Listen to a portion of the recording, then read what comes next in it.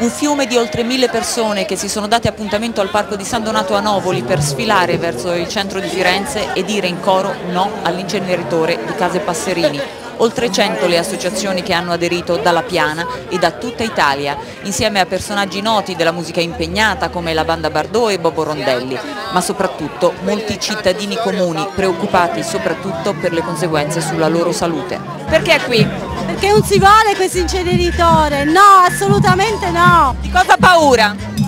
Eh, di tutto, di tutto quello che può scaturire questa cosa, rifiuti, tossico e tutto. Sono qui perché è importante sia per i nostri bambini che per il nostro futuro, perché non è sostenibile un inceneritore nella piana fiorentina e bisogna eh, perseguire le strade alternative che esistono e vengono già sperimentate in altre città. Una cittadina della Piana? Certo, sono di Campi Bisenzio, fiera di esserlo, però lotterò infatti per difendere il territorio. Io provengo da, dalla terra dove c'è l'inceneritore più grande d'Europa, Acerra.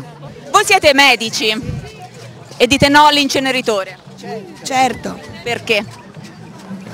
Perché ormai è stato dimostrato da moltissimi studi scientifici che fa male alla salute, Anche questi di ultima generazione come li chiamano? certamente. I rischi quali sono? I rischi medici sono nella genetica perché si è visto che queste sostanze interferiscono nello sviluppo proprio della, dell'embrione, aumenta decisamente l'incidenza dei tumori.